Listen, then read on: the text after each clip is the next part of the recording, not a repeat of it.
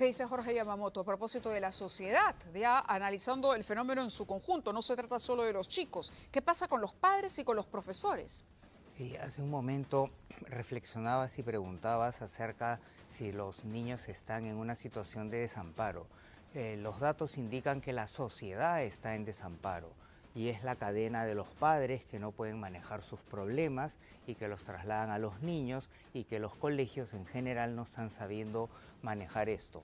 Hace algún tiempo veíamos con pena eh, los reality shows que eran parte de esta televisión basura, pero ahora se ha dado un giro. La vida se ha convertido en el reality show a través de las múltiples cámaras que están habiendo y es el mundo al revés. Se va a celebrar la violencia, se van a celebrar las cosas negativas, el materialismo y la superficialidad.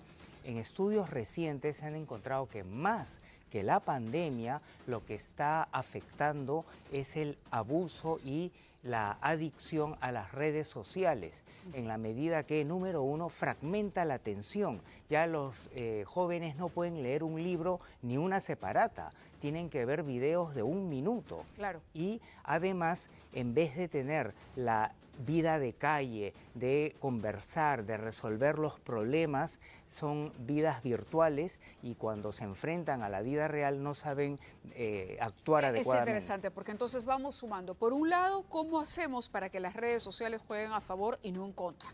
Porque parece que se están convirtiendo en enemigas de todos, ¿no? A partir de eso, ¿no? Generando una o promoviendo una generación de estudiantes que pierden la atención, que ahora todo lo quieren sintetizado. Pero por otro también rescato lo que decía el doctor Trottenberg con relación a la pandemia, porque se perdió en algún momento, se mutiló esta capacidad y el aprendizaje de la inteligencia social. Y la inteligencia social se desarrolla cuando uno se vincula con otra persona, no a través de un celular, sino cara a cara, de cerca, cuando se siente la piel, cuando se siente el calor, la empatía, cuando uno mira a la persona y se transmiten mutuamente emociones. Y yo los hablaba de eh, la primicia que ha conseguido Alonso Ramos, porque les digo, aquí los textos son, yo no voy a leer los párrafos. Hay un informe que ha preparado Edgar Aguilar, pero se habla, por ejemplo, también de mucho abuso sexual.